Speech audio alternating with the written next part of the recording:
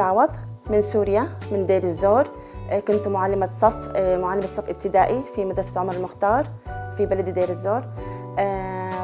بعد ذلك بسبب الحرب في سوريا جئت إلى تركيا دخلت إلى تركيا سنة 2015 نهاية 2015 واستقريت في ولاية مرسين في 2016 وهنا بدأت أبحث عن حلمي وأحلامي وطموحاتي.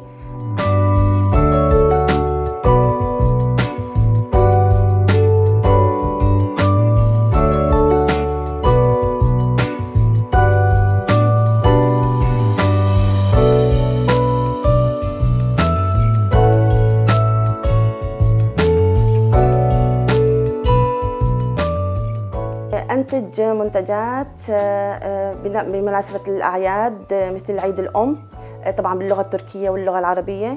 أنتج أيضا بمناسبة عيد المرأة العالمي يوم المرأة العالمي عيد للطفولة رمضان بكل المناسبات أنتج أحرف أسماء أشياء شعارات لوجو أي شيء يحتاجه العميل ويحتاجونه الطلاب المدارس.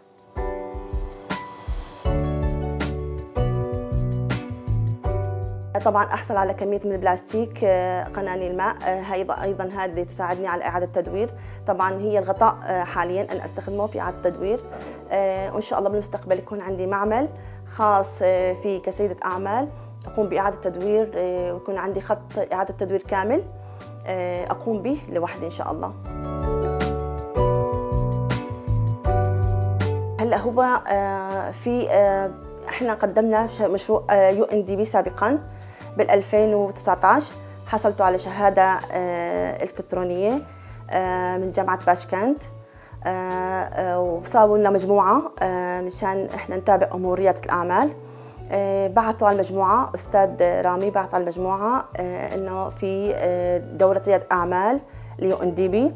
فسجلت فيها أنا ودخلت فيها وكان فكري إنه على الزوم نحضر ريادة الأعمال طبعا كان آه، تدريب ريادة الأعمال آه، في هاتاي. آه، استدعونا رائدات الأعمال سيدات أعمال نساء تركيات وسوريات.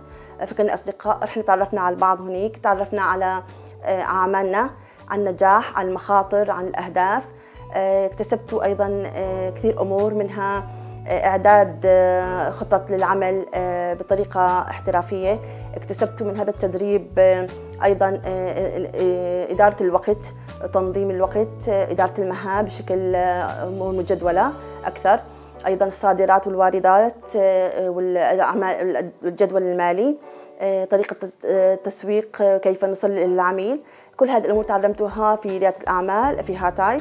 ثم تابعنا ريادة أعمال تدريب على الزوم لمدة ستة أيام. فهذا كله فادنا واستفدنا منه والله يعطيهم العافية.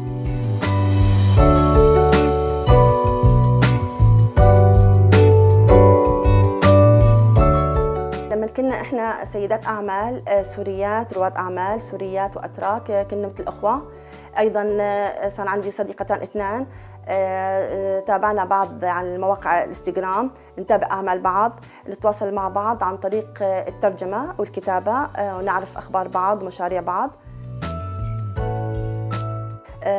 أشتري فيها طابعات ال 3 دي أنواع أشتري فيها بكرات فيلمنت أشتري فيها آه، أيضا آه، لابتوب احتياجي لعملي كي أتوسع في عملي أكثر آه، وينتشر عملي أكثر إن شاء الله في أنحاء تركيا كلها.